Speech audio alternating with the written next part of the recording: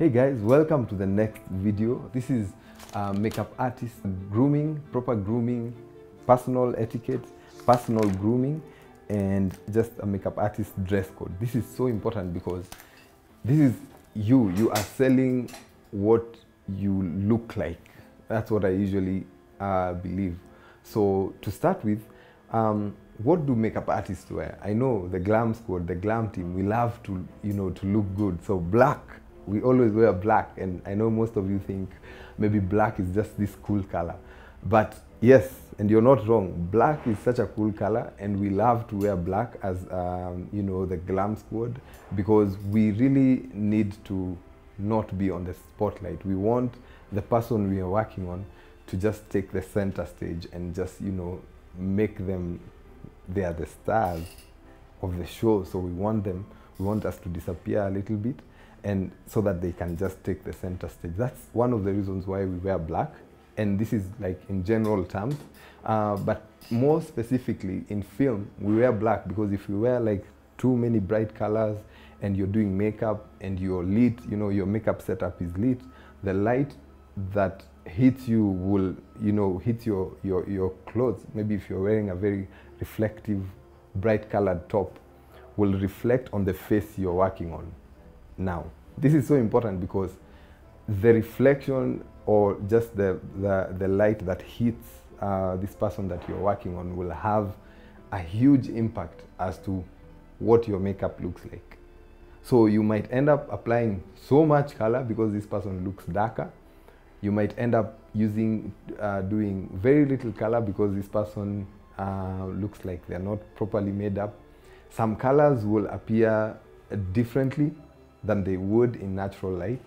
So even though you have your properly lit um, makeup setup the colors that you apply on the face will be affected by what you're wearing. So that's one of the reasons why we wear black especially in film. Um, and also, just when you're going to do your touch up or corrections on set, you just don't want to be that makeup artist who's in bright colors just crossing the set, you know, you know, and um, you know, crossing the camera and just going to correct correct uh, your makeup. So you just want to recede a bit. You want you want to just not be so underdressed and not so overdressed at the same time. It's just a subtle, nice uh, combination of you know black. Um, that will also make you look so cool and professional as a makeup artist. So that's one of the reasons why we wear black.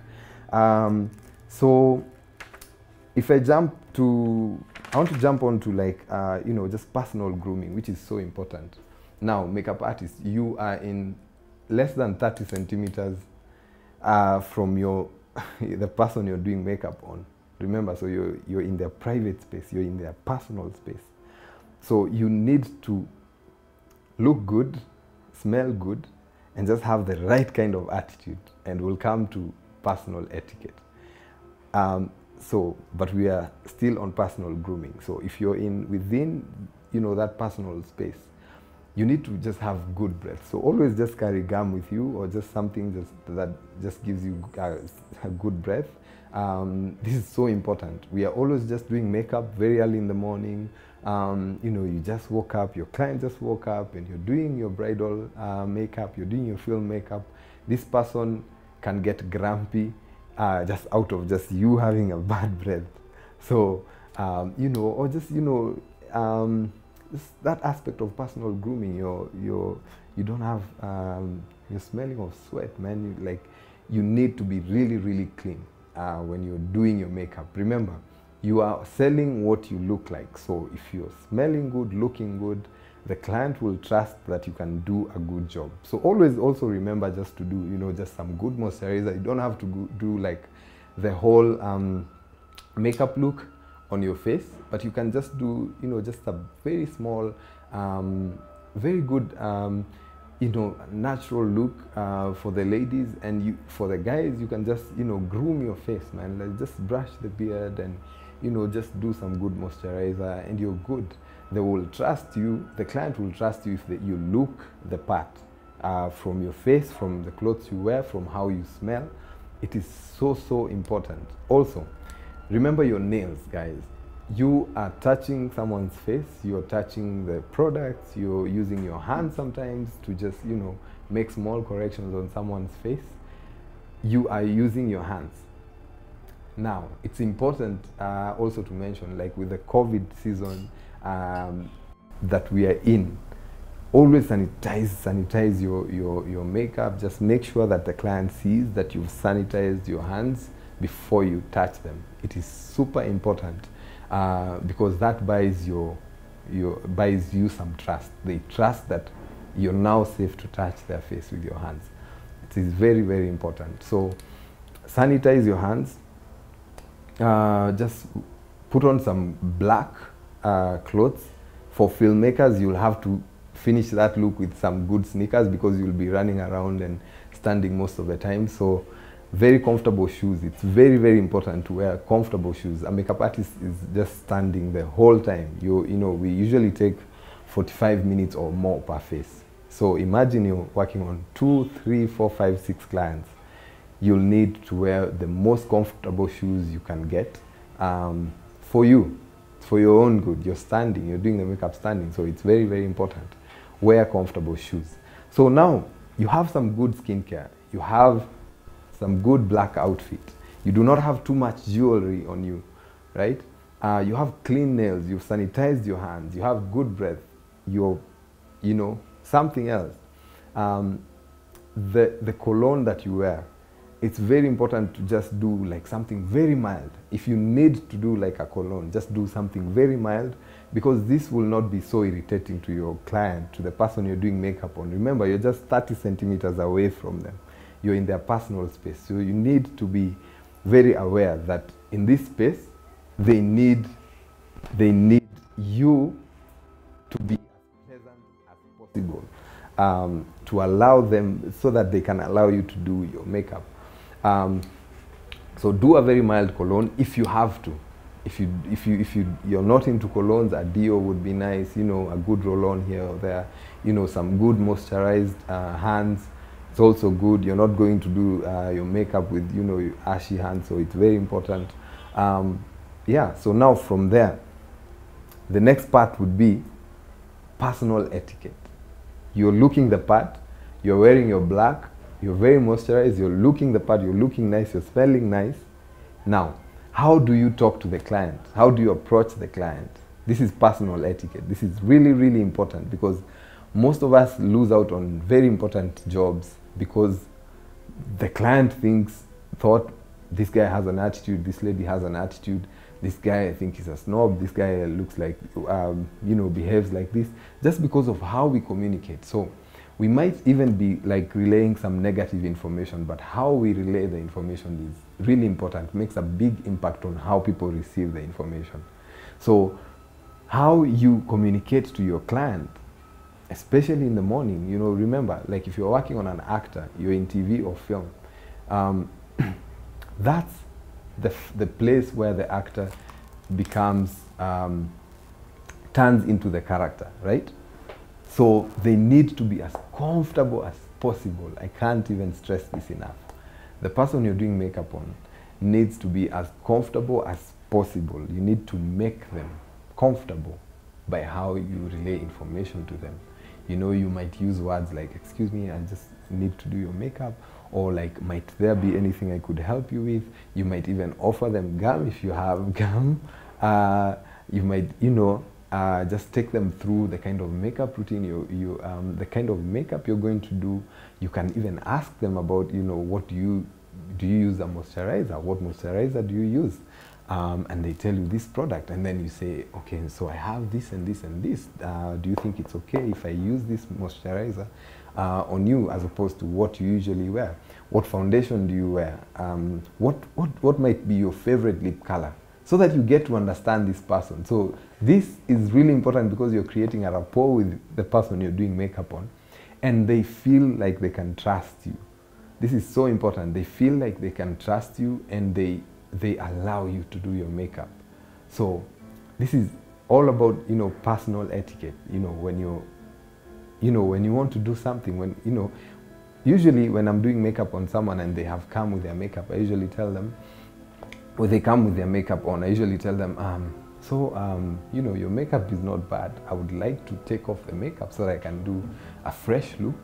Um, but it, you will you will still like it. You will still love the look I'll do to you. And I usually make uh, my clients feel like it's a collaborative thing we're doing. We are working together to create this look. That's why I ask them, you know, what's your favorite lip color? Uh, and this also, um, you know, saves you on time because you do not have to figure out, oh, the dark colors work for this person. The, you know, the bright colors uh, make someone look better. Um, so this client will save you on time because they, they, they'll be like, oh, I think I feel more inclined to, you know, red makes me feel a bit more confident. So if you're in a place where you can consider using the red, you will just go straight to the red. This will not kill your creativity still. It will actually add value to your makeup artistry and to how you deal with your clients, whether they are actors, news anchors, models, um, or anyone, even people in theater. So it's really, really important to create that rapport by the language that you use. Please is a very, very normal um, word to use.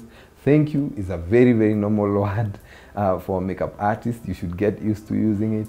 Um, kindly is, is a very, very important word to use. So use all these kind words just to make sure that someone uh, trusts you, um, just to make someone um, understand that, you know, you're here to make them look the best uh, they can ever look. So you're doing a collaborative effort with them, a collaborative project with them to create a look that you'll be happy about, that they'll be happy about. So personal etiquette, personal grooming, you know, personal image, know, the makeup artist dress code. This is really, really important. We, as makeup artists, we are the, past, we are the people who meet um, our actors and our brides like the earliest, early in the morning. So we need to be as pleasant as we can, as pleasant as we possibly can, so that um, you know these people, are, we are supporting these people to just achieve their vision.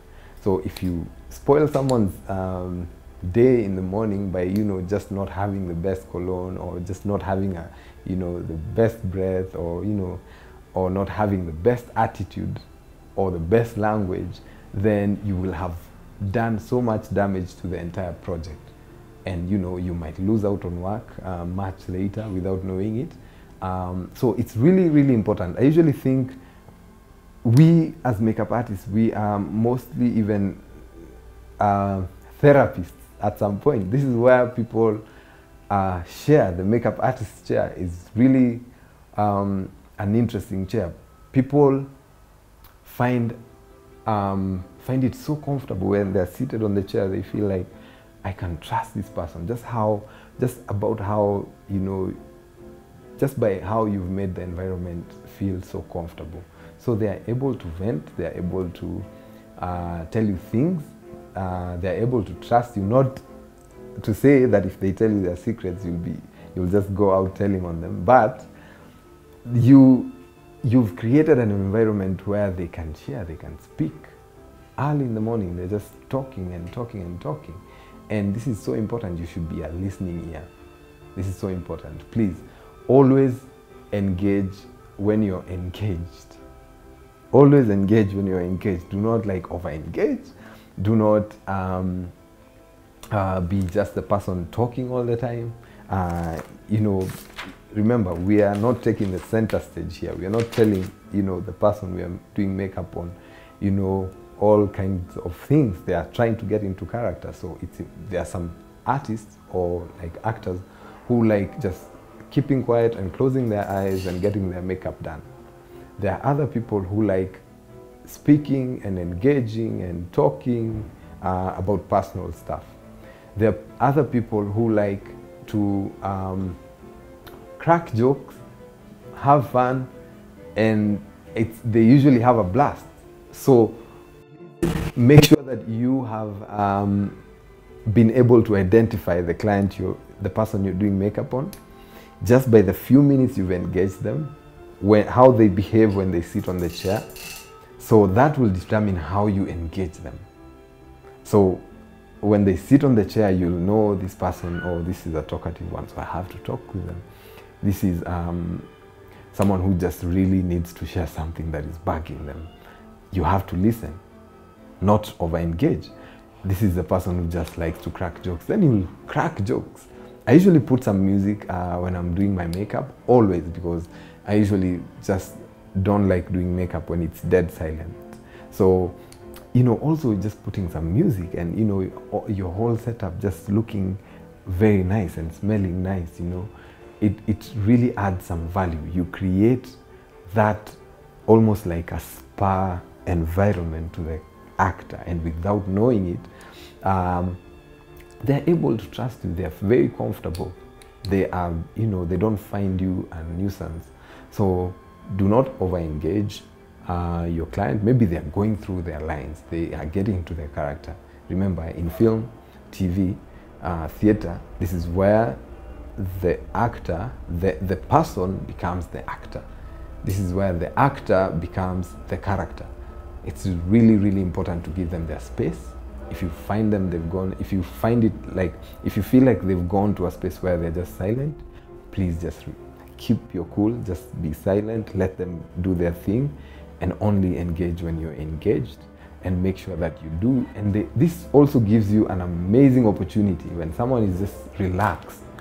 You get to do your makeup really well. You get to make mistakes and correct them without, you know, any pressure. And by the music, you just create an environment where someone is just relaxed and looking forward to seeing the outcome of what you're doing. So, just to sum it up, personal etiquette, really important personal grooming. Yo, how you show up is how they, they trust how you look. It is really important. The, you will never sell as a makeup artist. You cannot sell what you do not look like. You can only sell what you look like. So personal grooming, very important. Do not forget, just try your best to love the color black because you will be wearing black. Most of the time you'll be required you know uh, to wear black most of the time. And it is really really important and necessary for you to wear black. Um, and comfortable shoes. Do not forget comfortable shoes. Cheers